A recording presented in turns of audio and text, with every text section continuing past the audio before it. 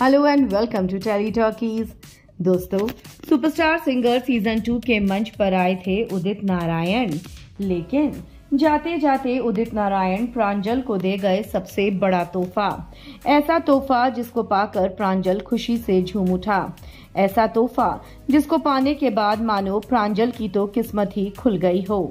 क्या दिया है ऐसा और क्या हुआ है, चलिए हम आपको बताएँगे टेली टॉकीज की इस रिपोर्ट में। पर अगर नहीं किया है अभी तक आपने चैनल को सब्सक्राइब, ज़रूर करें और बेल आइकन को दबाएँ। दोस्तों, सुपरस्टार सिंगर सीज़न टू के मंच पर प्रांजल ने बहुत ही शानदार परफॉर्मेंस दी, जिसके बाद प्रांजल की सबने तारीफ़ की।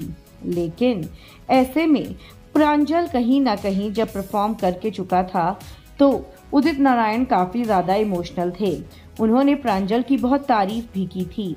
पर जाते जाते प्रांजल को उदित नारायण अपना हारमोनियम गिफ्ट करके चले गए। वो हारमोनियम जो उदित नारायण को उनके गुरु ने दिया था। वो हारमोनियम जो उदित नारायण के दिल के सबसे ज़्यादा करीब था, लेकिन उन्होंने वो हारमोनियम प्रांजल को दे दिया। हम आपको बता दें, ऐसे में कहीं ना कहीं ऋतुराज मायूस हो रहा था, क्योंकि उसको लग रहा था कि उसकी परफॉर्मेंस की तारीफ़ तो बहुत हुई, लेकिन उसको कोई भी तोहफा नहीं मिला। उदित नारायण ये चीज़ जान चुके थे कि दिल टूट रहा है ऋतुराज का।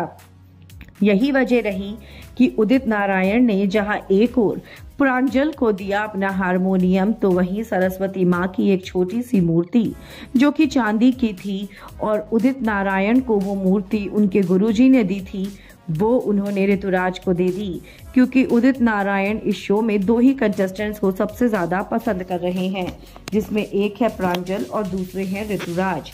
वेल, उदित नारायण से ये तोहफा पाकर दोनों तो अपने आप को काफ़ी किस्मत वाला मान रहे हैं। आप क्या कहेंगे? हमें कमेंट्स में ज़रूर लिखकर बताएँ। वीडियो को लाइक और शेयर करना आप ना भूलें।